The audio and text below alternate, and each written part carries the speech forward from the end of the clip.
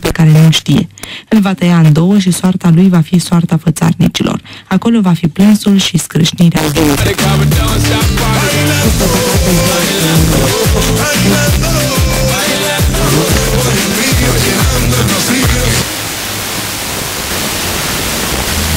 It's gonna